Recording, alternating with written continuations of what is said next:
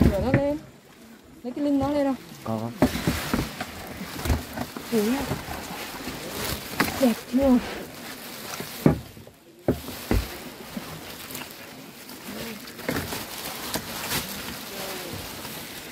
Tuyệt vời chưa?